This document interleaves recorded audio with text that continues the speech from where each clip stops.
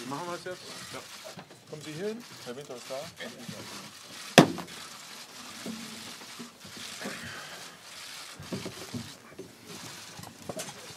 Gott, sieht. Ja, also, könnte schon wieder kotzen. Hm, danke. Ja, ich will ja kurz, kurz noch die Gelegenheit geben für zwei, drei Fotos.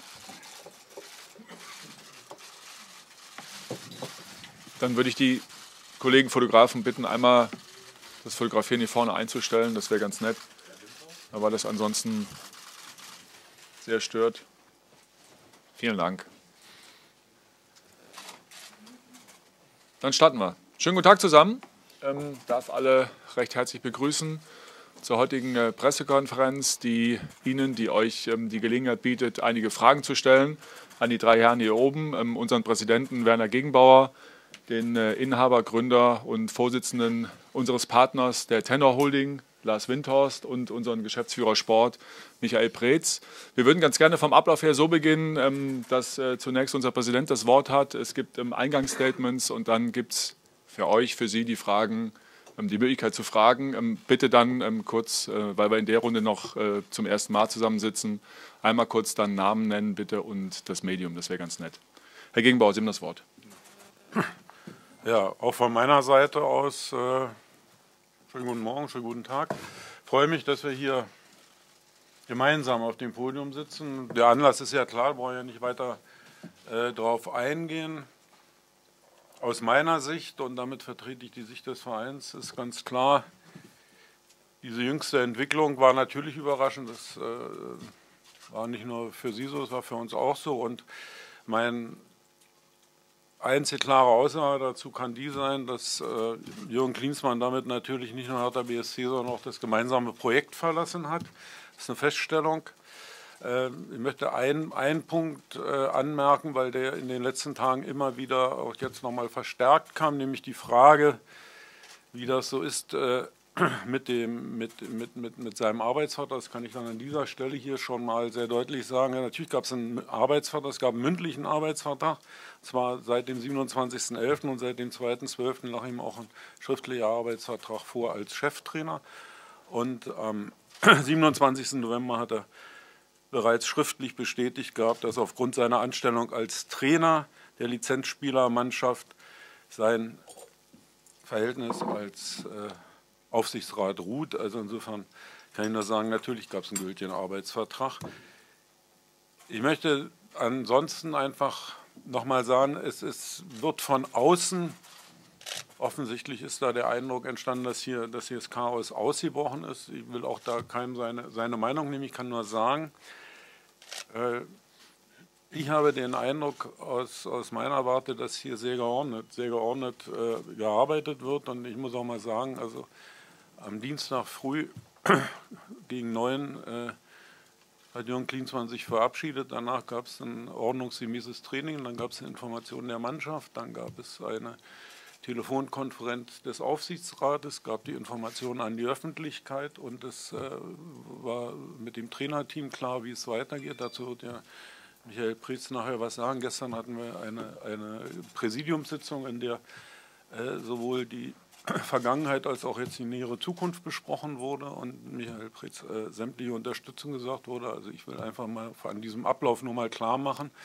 dass es natürlich am, Montag, äh, am, am, Dienstag ein Schock war, aber ich will auch klar machen, dass äh, mein Dank hier sowohl Michael Preetz als auch den Mitarbeitern gilt, die das in dieser Form bewältigt haben, dass hier in dem normalen Ablauf jedenfalls keine Störungen zu erkennen waren.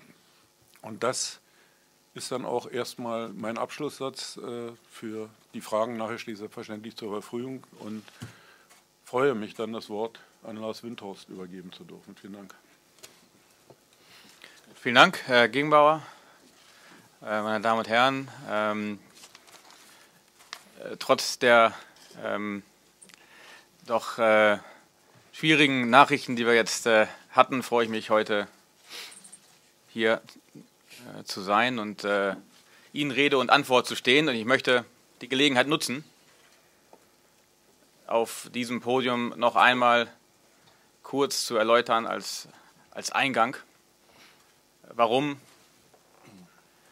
mein Unternehmen im Sommer letzten Jahres bei Hertha BSC investiert hat und warum wir trotz des Rückschlags, den wir durch den unerwarteten Rücktritt von Jürgen Klinsmann jetzt zu verkraften haben, weiter sehr motiviert und sehr engagiert als Investor die Hertha BSC begleiten werden und sich an den Plänen überhaupt gar nichts geändert hat.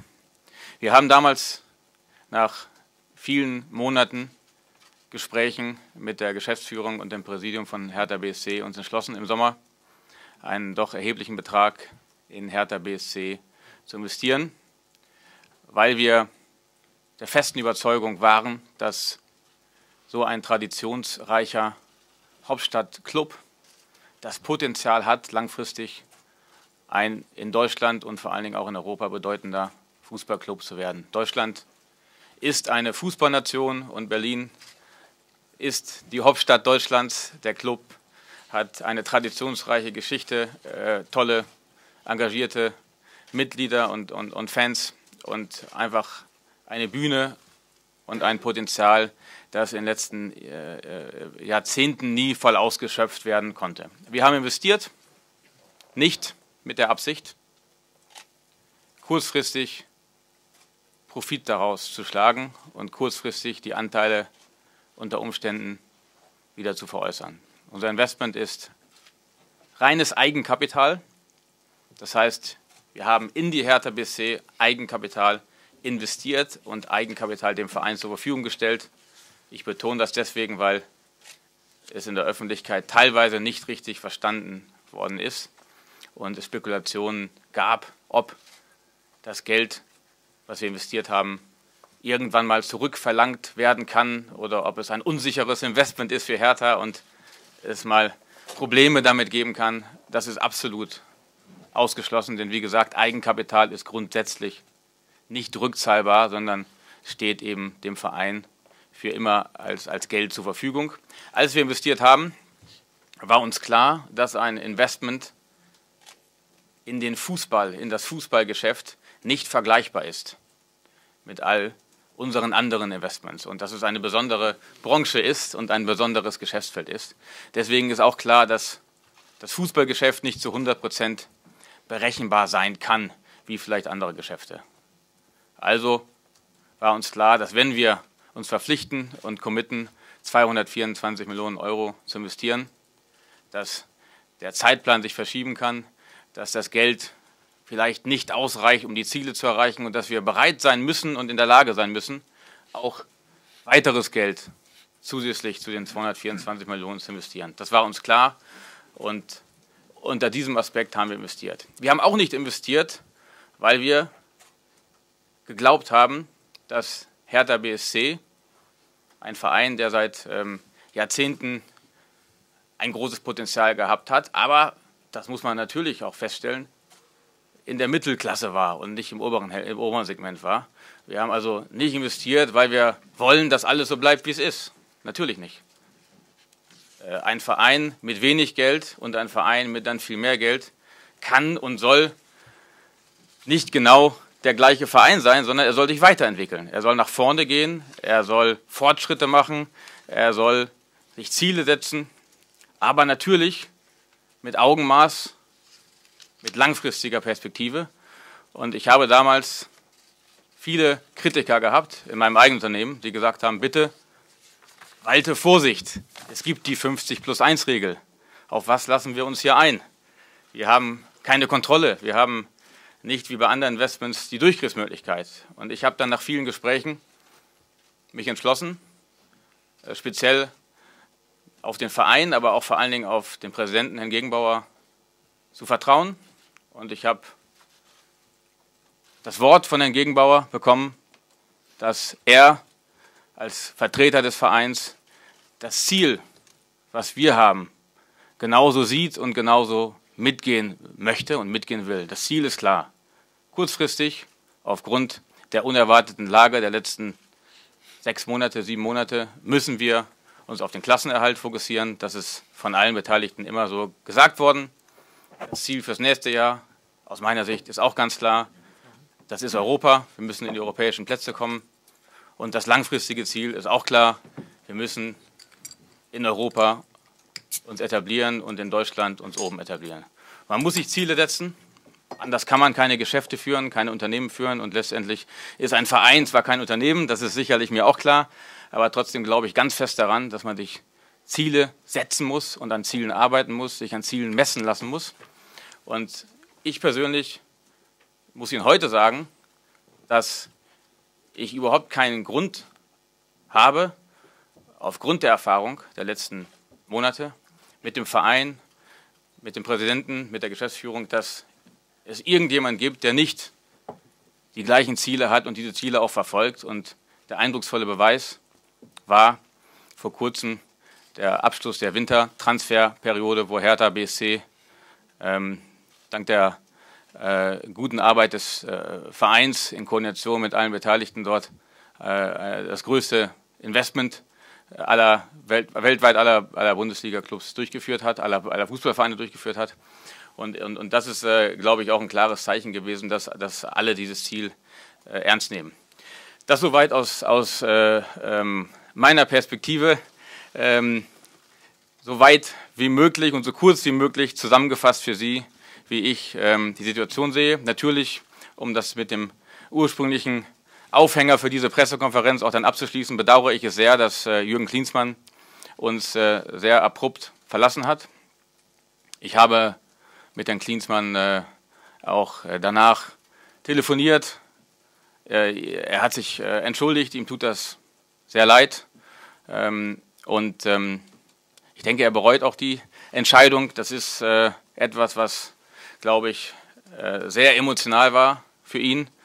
Ähm, ich glaube nach wie vor, dass es ein ähm, Gewinn war, dass wir Jürgen Klinsmann ähm, für Hertha BSC engagieren konnten. Und als die für uns alle, glaube ich, überraschende Nachricht kam, dass er so leidenschaftlich dabei war im, im, im Winter, dass er sogar äh, bereit war, längerfristig sich zu engagieren, also sechs Monate, ist das von allen mit Freude aufgenommen worden. Und ich bedauere im Nachhinein, dass wir es nicht geschafft haben, das äh, dann ganz schnell auch dingfest zu machen, um ihn dann auch äh, zu halten. Denn äh, wir haben schnell gemerkt, dass gerade bei Werbeeinnahmen, bei Sponsoren der Name äh, so viel Zugkraft hatte, dass wir dort in kurzer Zeit auch finanziell für den Verein große Erfolge eingefahren hätten. Leider muss ich sagen, dass heute aufgrund der Art und Weise, wie der Jürgen Klinsmann sich verabschiedet hat, ähm, eine Zusammenarbeit äh, unmittelbar jetzt weiter mit ihm im Aufsichtsrat der Hertha BSC aus meiner Sicht nicht vorstellbar ist. Leider ähm, ist die Art und Weise des, des Abgangs ähm, so unakzeptabel, dass äh, wir im Sinne des Vereins eine zielführende und konstruktive Zusammenarbeit mit ihm und allen anderen beteiligten Personen ähm, so in dieser Form äh, nicht äh, fortführen können ob wir in Zukunft, wenn sich in einigen Monaten dann mal die Wogen geglättet haben, ähm, in anderer Form äh, auf ihn und auf seinen Rat nochmal zurückgreifen können. Äh, das muss man dann sehen. Äh, ich schlage äh, niemals Türen zu. Ich ähm, äh, schlage auch niemand K.O., wie das heute in einer Zeitung berichtet wurde. Aber äh, es ist einfach bedauerlich, dass ähm, ähm der Abgang so abrupt war und de dementsprechend ähm, der Jürgen Klinsmann leider dadurch viel an seiner Glaubwürdigkeit hier bei allen Beteiligten verloren hat, was wirklich schade ist und traurig ist. Aber wir müssen damit jetzt leben. Wir schauen nach vorne und wir schauen geschlossen nach vorne und werden uns jetzt mit aller Kraft äh, dem Verein widmen und dafür sorgen, dass wir ähm, äh, positiv äh, mit maximal guter Energie äh, nach vorne schauen, uns weiterentwickeln und äh, den Verein stabilisieren und dann in der nächsten Saison nach vorne bringen. Das soweit von meiner Seite und äh, übergebe hiermit gerne an den Michael Preetz. Ja, vielen Dank, äh, lieber Lars, für die ähm, klaren Worte. Ich möchte gerne auch von meiner Seite aus äh, noch mal ein bisschen darüber berichten, wie ich insbesondere den letzten äh, Dienstag wahrgenommen habe und die Entscheidung, die Jürgen Klinsmann am letzten Dienstag ähm, getroffen hat. Ähm, wir haben das in dem Statement ähm, schon gesagt. Äh, sie hat uns äh, völlig überrascht. Sie kam für uns auch aus heiterem Himmel. Es gab aus meiner Sicht überhaupt keine Anzeichen für einen solchen Schritt, nicht aus der Zusammenarbeit ähm, der letzten Wochen, schon gar nicht äh, aus der Verbindung zwischen ihm und mir ähm, über die letzten Jahre, die aus meiner Sicht äh, immer in einem konstruktiven Austausch und auch in einer vertrauensvollen Art und Weise ähm, geführt wurden. Ähm, ja, ich bin schon einige Jahre im Fußball dabei, seit 1986 und ähm, glaube ganz grundsätzlich im Fußball schon wirklich ähm, vieles erlebt zu haben. Ähm, das, was am Dienstagmorgen äh, passiert ist, war für mich in dieser Form auch total neu, weil es mir und uns als Hertha BSC eben auch überhaupt keine Chance gelassen hat, ähm, in einen Austausch ähm, zu kommen. Und ich möchte das nochmal klar sagen. Ich bin hier verantwortlich bei Hertha BSC und versuche meine Verantwortung immer so zu leben, dass ich ausschließlich das Wohl und Wehe von Hertha BSC in den Mittelpunkt meiner Überlegungen stelle. Und wenn ich darüber nachdenke, wie man Verantwortung ähm, gerecht werden kann, ähm, dann meint das auch, dass da, wo möglicherweise schwierige Situationen auftauchen, dass man das gemeinsame Gespräch sucht, um Dinge möglicherweise gemeinsam zu überwinden. Das ist nicht passiert ähm, und insofern ähm, haben wir die Situation, so wie sie seit dem Dienstag ist, die, den unmittelbaren Rücktritt von äh, Jürgen dann hinzunehmen und natürlich aber in einer Situation, in einer sportlichen Situation, in der wir uns befinden, den Blick nach vorne zu richten. Der Präsident hat es gerade gesagt, Dienstagmorgen sind wir ähm, wirklich kalt erwischt worden. Ähm, unser ganzer Fokus gilt jetzt darauf, uns vorzubereiten auf das Spiel, natürlich am Samstag ähm, in Paderborn und auch auf die nächsten Wochen. Wir werden das machen mit Alexander Nuri und Markus Feldhauf und seinem Team. Ähm, und äh, der ganze Fokus ist darauf gerichtet, dass wir so schnell wie möglich in diesen jetzt sehr wichtigen Wochen in äh, der nächsten Zeit mit Spielen natürlich auch gegen Mannschaften, die in unmittelbarer Konkurrenz zu uns stehen, die notwendigen Punkte zu holen. So viel zunächst mal von meiner Seite. Dankeschön. Herzlichen Dank. Ähm, dann eröffnen wir die Fragerunde. Ähm, Nochmal bitte mit dem Hinweis, äh, kurz Namen und Medium zu nennen. Wer beginnt? Fangen wir bei Thomas Gulski an. Die Sekunde, ähm, ganz kurz, Mikro kommt. Ja, wer Mikro ist besser. Thomas Kulski, ZDF. Herr Windhorst, wie sind Sie eigentlich auf Jürgen Klinsmann als Ihr Mann im Aufsichtsrat gekommen? Hat er sich beworben und müssen Sie heute sagen, Sie haben sich in ihm getäuscht? Ähm, wir haben kurz nachdem wir uns bei Hertha BSC engagiert haben, verschiedene mögliche Kandidaten für eine Funktion des sportlichen Beraters der Tenor Holding und auch für dann die Funktion des Aufsichtsrates bei der Hertha BSC uns angeschaut und dort äh, Gespräche geführt. Und selbstverständlich war Jürgen Klinsmann da einer der Wunschkandidaten. Äh, er ist eine Ausnahmeperson und ein, und ein absoluter Weltfußballer und Weltstar und äh, hat eben, wie wir alle wissen, eine, eine unglaubliche Strahlkraft, die dem Verein hier gut getan hat, gut getan hätte. und von daher ähm, war er einer von von vielen Gesprächen, die wir geführt haben. Und wir haben dann eben schnell gemerkt, dass er sehr leidenschaftlich auch für, sich für das Projekt Hertha BSC äh, erwärmt hat und begeisterungsfähig war. Und somit konnten wir uns dann äh, schnell mit ihm einigen und äh, ihn dann gewinnen, äh, an Bord zu kommen.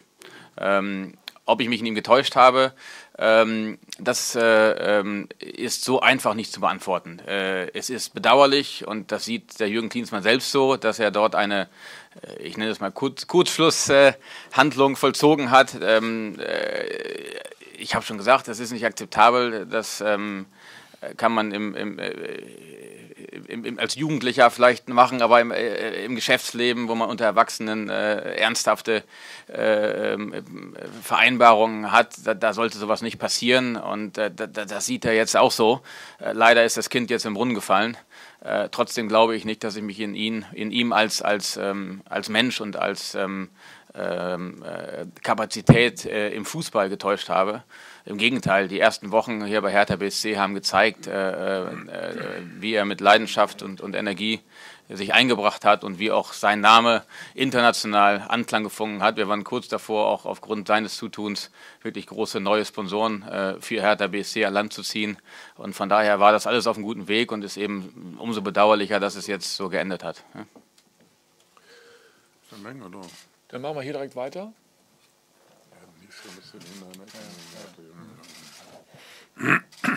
Hi, äh, Max Dinklager von der Elf Freunde. Auch an Herrn Winterhorst eine Frage. Sie sind jetzt seit acht Monaten ungefähr im Club, haben ja nicht wenig Geld investiert. Jetzt ist der zweite Trainer weg. Die Mannschaft ist immer noch 14.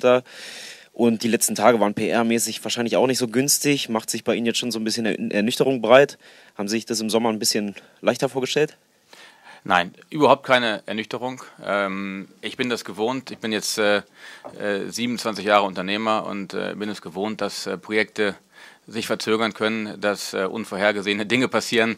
Und äh, das bringt mich äh, zum einen überhaupt nicht aus der Ruhe und zum anderen bringt mich das in keinster Weise von dem Ziel ab und auch dem, den, den, den Glauben an Hertha BSC und an das Ziel, was wir mit Hertha BSC erreichen können. Das sind hier kurzfristige Momentaufnahmen, die keinen Einfluss auf eine 10-Jahres- und 20-Jahres-Strategie und ein 10-Jahres- und 20-Jahres-Engagement haben. Machen wir gleich da weiter. Ja, Marc Schmiel hier von RTL und NTV. Herr Preetz, äh, Herr Jürgen Klinsmann hat sich gestern auch sehr deutlich gegen Sie gerichtet, äh, gesagt, dass er nicht gut damit klarkommt, wenn Sie neben ihm auf der Bank sitzen, Kommentare abgeben. Wurde vorher denn nicht über Kompetenzbereiche gesprochen? Äh, mit was für einem Bild ist er in dieses Engagement gegangen und welche Gespräche hatten Sie vor dem Training, Trainerengagement? Ähm, wir haben ähm, Ende November ja in, in, einer Phase, nach der wir uns entschieden haben, Ante Czovic ähm, zu beurlauben, die Gespräche mit äh, Jürgen geführt und uns darauf vereinbart, dass wir äh, mit ihm ähm, als Cheftrainer zusammenarbeiten mit logischerweise allen Kompetenzen, die ein Cheftrainer hat, die am Standort bei Berlin hier bei Hertha BSC genau die gleichen sind wie in jedem anderen Bundesliga-Club auch. Das ist völlig klar. Wir haben darüber hinaus eine Zusammenarbeit vereinbart, die bis zum Ende dieser Saison äh, gilt. Ähm, und äh, es war klar, dass die, ähm, die wichtigste Aufgabe im ersten Moment mal ist, äh, Punkte zu sammeln, die Mannschaft aus dieser schwierigen Situation zu befreien, was ja auch gelungen ist. Darüber hinaus gab es, so wie Lars Winter das ja gerade auch gesagt hat, Zeichen von Jürgen dann Anfang ähm, des Jahres, dass er sich eine weitere Zusammenarbeit als Cheftrainer bei Hertha BSC vorstellen kann. Äh, und dann gibt es in der Tat unterschiedliche Auffassungen darüber, wie die Rolle als Cheftrainer definiert ist. Ähm, und da, und das ist richtig, ähm, sind wir nicht äh, übereingekommen auf der Strecke bis hierhin, bis er ähm, zurückgetreten ist oder bis er hingeworfen hat. Das ist richtig. Äh, Dinge, die ich da gestern gehört habe, allerdings, äh, dass ich auf der Bank sitze und dass ich irgendwie engagiert an der Seitenlinie auftauche, das sind keine Dinge, die jemals äh, wir miteinander besprochen äh, haben. Und das ist das, was ich meinte. Ähm, wenn möglicherweise Problemfelder auftreten, wenn Konfliktsituationen irgendwo da sind, dann bin ich das gewohnt, dass man die miteinander thematisiert und bespricht und versucht zu lösen. Das kann man nicht, wenn man sich umdreht und davonläuft. Ich mache einmal wieder das Mikro wieder zurück, Johannes. Ja. Und dann bitte als nächstes der Herr, der da ähm, hinter dir steht. Michael Klein, Spreeradio. Herr Windhorst, werden Sie äh, Jürgen Klinsmann aus dem Aufsichtsrat abberufen? Und äh, Michael Preetz, Sie haben gesagt, nächsten Wochen, äh, Nuri und Feldhoff, gilt das für die nächsten vier schwierigen Spiele? Werden Sie definitiv die Mannschaft betreuen?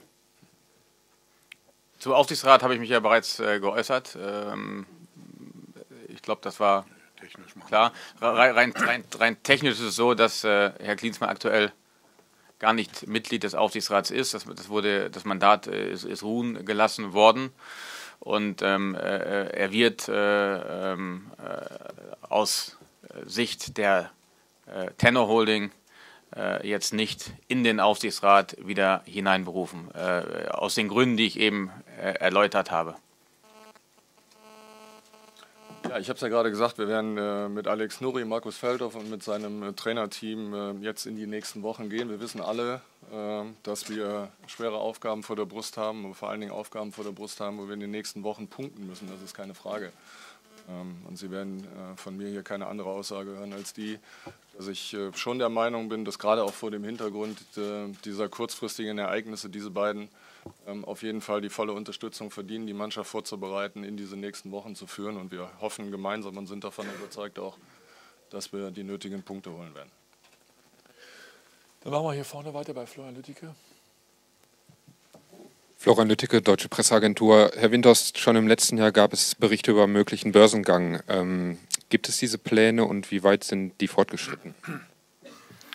Für uns äh, als Investor bei äh, Hertha BSC ist das äh, zunächst äh, ein Thema, was erstens ähm, nicht wirklich relevant ist und zum anderen äh, äh, liegt das ähm, bei den Gremien und muss, muss in den Gremien von Hertha BSC besprochen werden. Von daher ähm, möchte ich mich dazu nicht äußern.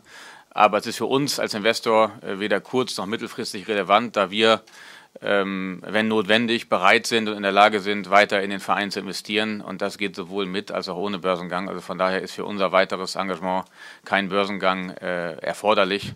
Äh, und ähm, äh, deswegen ist es eine Frage, die sich jetzt äh, aktuell nicht konkret für mich stellt. Bitte weiter nochmal bei Thomas Kulski, dann ähm, Sky Sport News und dann kommen wir zu dir, Steffen.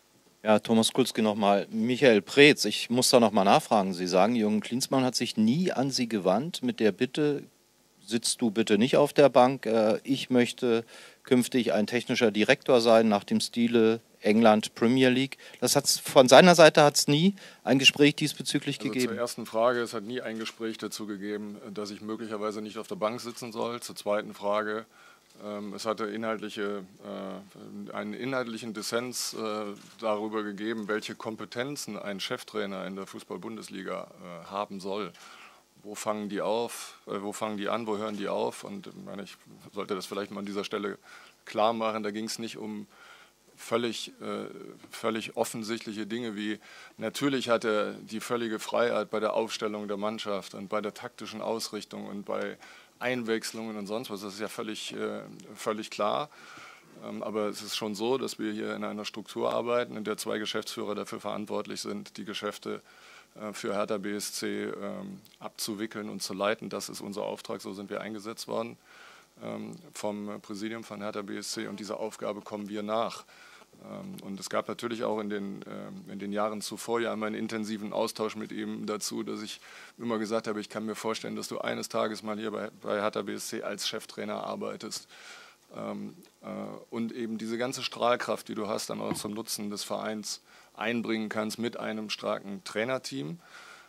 Und es gab immer, sag mal so, den Ansatz, ja, wenn ich so irgendwas machen möchte, dann muss ich alles entscheiden können. Du kannst äh, in einer Zusammenarbeit gerade mit dir äh, glaube ich, äh, kannst du, kannst du wunderbar wirken, weil ich in meinem ganzen Leben, jeder, der mich kennt, immer Teamplayer war und meine Aufgabe immer als solches verstehe.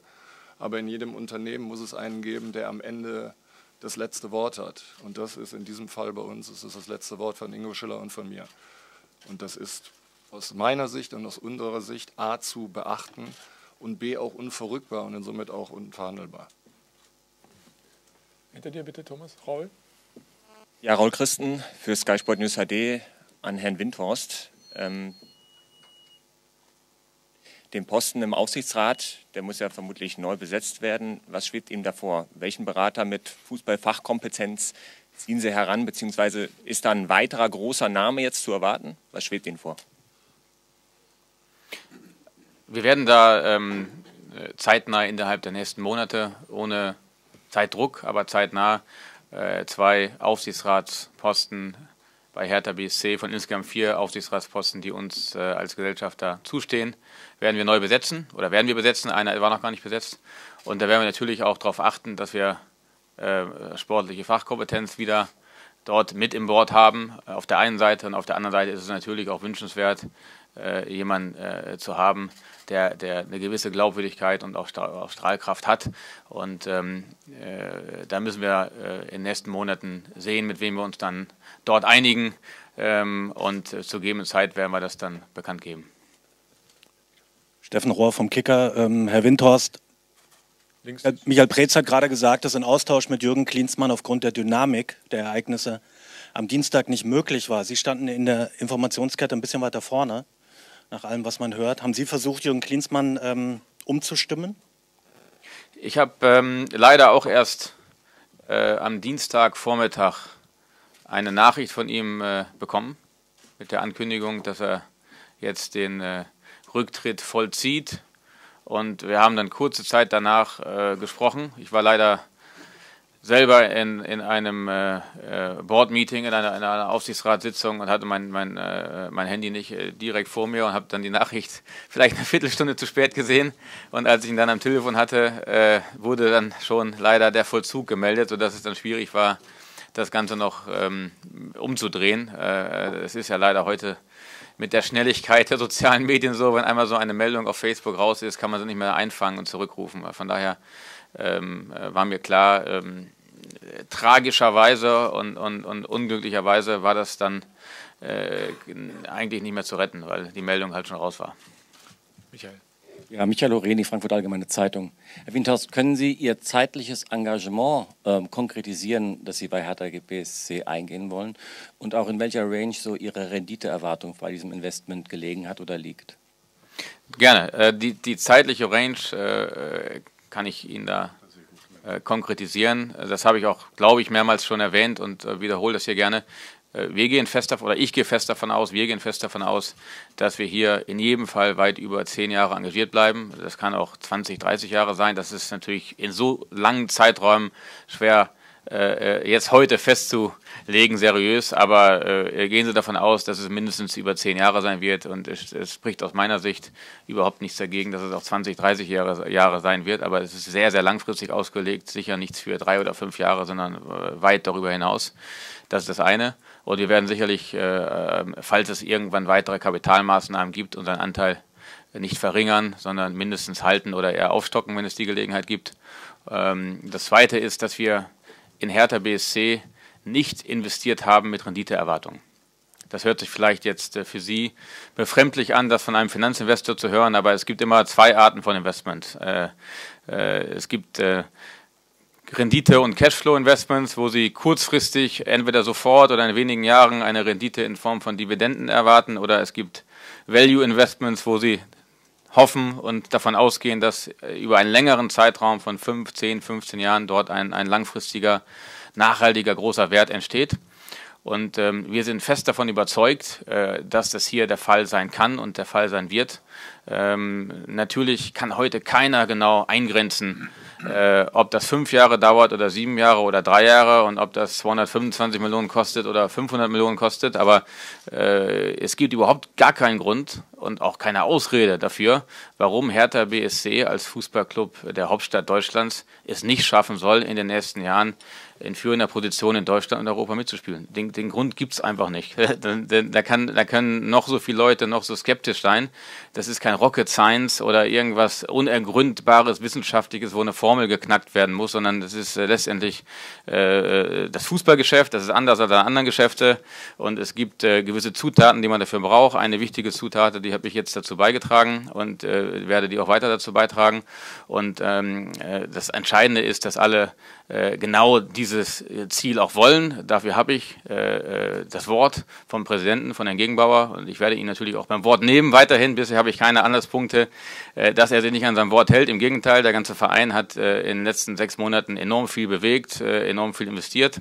Von daher gehe ich fest davon aus, dass sich alle an dieses Commitment halten und dass wir gemeinsam diesen Weg gehen, nach vorne mit Veränderungen mit äh, Verbesserungen äh, und mit, äh, mit Zielsetzungen, an denen wir arbeiten und die wir erreichen wollen und erreichen müssen. Machen wir bei dem Kollegen vom ZDF, äh, vom RTL nochmal weiter.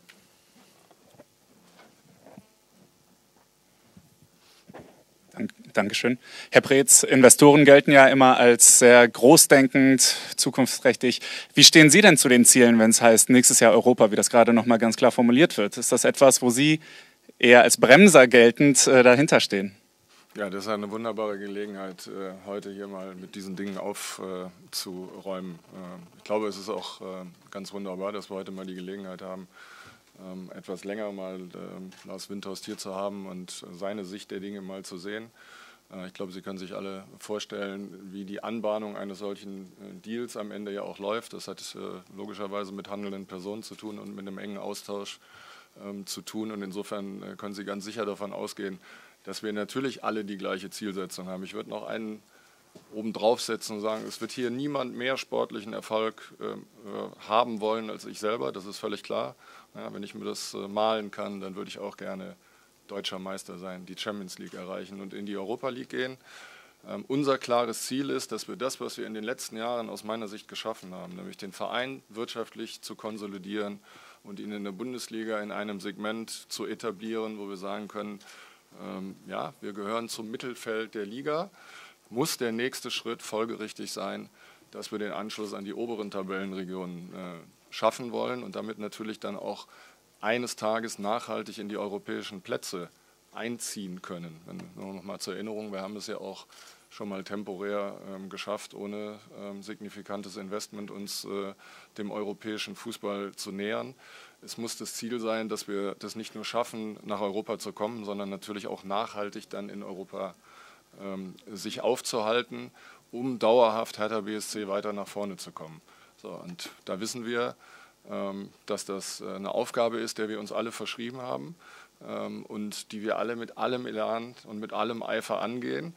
Ähm, allein den, den, ich sag mal, die, die Klammer, die ich immer gesetzt habe in der aktuellen Situation, ist die, dass ich gesagt habe, wir sollten nur nicht vergessen, dass wir aktuell uns im Abstiegskampf der Fußball-Bundesliga ähm, befinden. Den müssen wir, weil das die Voraussetzung zunächst mal ist, den müssen wir erstmal ähm, erfolgreich äh, ähm, bestehen. Das ist die Aufgabe in dieser Saison und jetzt.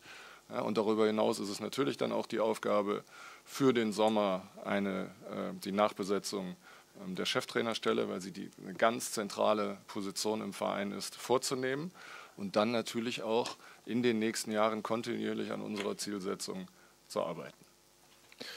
Machen wir hier vorne einmal weiter bei der Dame, dann kommen wir zu dir. Hallo, Anja Rau, ebenfalls NTV Online RTL. Ähm, Frage an Herrn Preetz und Herrn Windhorst eigentlich auch. Ähm, inwieweit dann auch für die neue Cheftrainerstelle ähm, der deutlich mehr Geld in die Hand genommen werden soll als bisher, weil Sie sprachen immer von der Strahlkraft, die ähm, auf den Club mit auswirken soll. Ähm, können wir davon ausgehen, dass nicht unbedingt die üblichen Verdächtigen wie Bruno Labbadia etc. kommen sollen? Also das würde ich erstmal ähm, aus meiner Sicht äh, als schon beinahe despektierliche Äußerung zurückweisen. Entschuldigung, wenn ich das sagen kann, weil wir über einen Kollegen sprechen, der in den letzten Jahren, äh, glaube ich, in der Bundesliga sehr, sehr gute Arbeit geleistet hat. Äh, aber unabhängig davon ähm, ist es unsere Aufgabe, ähm, einen Cheftrainer ähm, zu finden, der mit uns gemeinsam die Ziele für die nächsten Jahre angeht, der ambitioniert ist, der ehrgeizig ist der, ähm, glaube ich, ein Umfeld äh, vorfinden wird, in dem er sehr vertrauensvoll mit den handelnden Personen zusammenarbeiten kann und der hier richtig was bewegen kann. Ich glaube, dass das, äh, dass das eine, eine Stellenbeschreibung ist, die ähm, interessant ist. Das ist überhaupt gar keine Frage. Ähm, aber die natürlich auch eins bedingt, dass man Planungssicherheit haben kann für die Liga, in der man spielt. Und das ist unsere Aufgabe, die wir in den nächsten Wochen ähm, zunächst mal zu bewältigen haben. Michael, Mikro kommt. Michael Rosentritt, Tagesspiegel. Ich habe zwei Fragen an Herrn Gegenbauer. Herr Gegenbauer, der äh, Herr Windhorst hat ja sein Engagement sehr an Ihr Ja-Wort sozusagen, an Ihr äh, Wort geknüpft. Heißt das, dass wir mit einer weiteren Amtszeit, also werden Sie ein weiteres Mal kandidieren äh, für das Präsidentenamt? Und die zweite Frage ist, was kann und was muss Hertha aus äh, dieser zehnwöchigen Zusammenarbeit äh, mit Jürgen Klinsmann lernen? Also ob Sie mit einer weiteren Amtszeit rechnen müssen, äh, so sehen Sie es ja, das kann ich Ihnen noch nicht versprechen, weil äh, das davon abhängt, ob ich gewählt werde. Äh, aber äh, eine Kandidatur liegt vor von mir, ja. Also das äh, ist so. Äh, das andere ist natürlich, das ist genau das, was Herr Michael Preetz vorhin gesagt hat. Also man ist ja länger im Fußball und ich bin ja vom Ehrenamt her mit weiterem Abstand, aber es gibt immer wieder Sachen, die man noch nicht erfahren hat. Und äh, immer wenn, wenn, wenn es einen Vorgang gibt, den sie noch nicht erfahren haben, dann fragen sie sich dann immer, wie weit die Planbarkeit ist. Ich denke mal, dass die, dass die entscheidende Lehre aus, aus, aus, aus, aus, aus unserem ersten ja, halben Jahr, das jetzt mal grob, ersten halben Jahr ist, dass wir völlig unstrittig, was die Ziele, was die Zukunft, was die Maßnahmen, alles das angeht, vollkommen deckungsgleich sind und dass wir an der einen oder anderen Stelle unterschiedliche Geschwindigkeiten uns vorgestellt haben. Und das werden wir in Zukunft nur noch miteinander besprechen. Das, äh, ist der, das ist der eine Punkt. Und der zweite Punkt ist der, dass die auch bisher immer vorhandene Sorgfalt in der, in der Frage, in der Frage, wer passt zur Hertha BSC, an der einen oder anderen Stelle, weil die sportliche Situation dann ein anderes Tempo verlangt, natürlich auch schneller hinterfragt werden muss. Und das ist eine Situation, die wird sicher in Zukunft ja, hoffentlich deshalb vermeiden können, weil wir gar nicht mehr in sportliche Situationen kommen, wo wir uns schnell um eine neue Lösung kümmern müssen. Das ist eigentlich der eine Punkt. Und der letzte Punkt, und das sage ich auch ganz bewusst, das wäre auch der Punkt gewesen, das wäre auch der Punkt gewesen, wenn mit Jürgen Klinsmann es zu einer Verlängerung gekommen wäre. Es war, es war unabdingbar, dass wir gesagt haben, für eine Übergangszeit ist völlig in Ordnung, wenn er zwei Hüte auf hat, also Tenor und Härter. Spielt gar keine Rolle bis Mai. Aber wenn es eine längerfristige Vereinbarung gibt, dann möchte ich jedenfalls, dass er zu 100 Prozent zur Hertha BSC gehört. Das sind so die Punkte, die, wenn Sie schon von, von der Frage, welche Lehren zieht ihr denn so aus eurer Sicht, aus, als Selbstkritik daraus, das sind die Punkte, wo ich sage, da werden wir in Zukunft, da werden wir in Zukunft äh, vermutlich noch intensiver darauf achten, weil wir haben ja darauf geachtet und wir haben es ja auch immer, es war auch ein guter Anfang und es war ja auch, muss man sagen, in der Dezemberwoche, es waren ja wirklich, es waren ja auch wirklich gute Resultate und es, es, es, es war mit keinem, es war mit keinem, es, wirklich, es war mit keiner, also in keiner Situation damit zu rechnen, dass das passiert, weil alles, was da heute kolportiert wird, ja, das ist alles ganz normal. Ja, wir, ich meine, Sie begleiten uns so lange, Sie kennen Trainernamen wo es immer Diskussionen intern gab. Ja, aber das ist ja nie auf die Idee gekommen, dass, dass am nächsten Tag der eine oder der andere nicht mehr da ist. Äh, so. und, und, und, und, deswegen, und deswegen ist aus meiner Sicht überhaupt nichts passiert, was ja, über, den normalen, über den normalen Gang von, von Gesprächen, Diskussionen und auch mal Verärgerung hinausgeht. Das ist halt so. Das ist ja bei Ihnen so, das ist bei uns so, das ist im Geschäft so. Das, das, aber es war nirgendwo zu erkennen, dass es mehr ist als das und dass es irgendeine dieser Konsequenzen, weil dann hätten wir ja sofort gegengesteuert. Das ist ja auch das, was äh, Herr Windhaus gesagt hat. Ja wenn, ja, wenn die Chance da ist, natürlich hätten wir uns das sichern wollen und natürlich hätten wir uns hauptsächlich die Strahlkraft von Jürgen Klinsmann und damit auch natürlich seine Wirkung auf internationale Werbepartner, internationale Investoren, internationale Interessenten an der BSC gerne sichern wollen. Und das ist halt leider jetzt kaputt gegangen und ich glaube, das hat er ganz präzise gesagt. Äh, ja, das äh, ist schade. Aber ganz ehrlich, da gibt es auch aus meiner Sicht überhaupt keinen Weg zurück, jedenfalls nicht, was Hertha BSC angeht. Gehen wir in die Schlussrunde, machen wir hier nochmal weiter, dann kommen wir zu dir, Javi. Äh, noch eine Frage an Herrn Preetz. Hat jetzt das Ende von Klinsmann irgendwelche Auswirkungen auf Arne Friedrich, auf ja. seinen Job oder bleibt er? Arne Friedrich bleibt genauso dabei wie die anderen Kollegen auch, ja. Gibt es noch einmal zur anderen Seite weiter, bitte, Javier? Javier der Süddeutsche Zeitung. Herr Windhorst, ähm, Sie haben viel Geld in die Hand genommen, bei Hertha investiert. Können Sie noch mal beschreiben, wie Sie Ihre Rolle in, bei diesem Investment leben wollen? Wie viel Macht streben Sie an über das, was äh, Hertha äh, machen soll, ähm, äh, um die Ziele, die Sie sich gemeinsam gesetzt haben, umzusetzen? Äh, es geht nicht darum, Macht äh, anzustreben, sondern im Dialog und teilweise auch im kritischen Dialog dafür zu sorgen, dass alle Verantwortlichen gemeinsam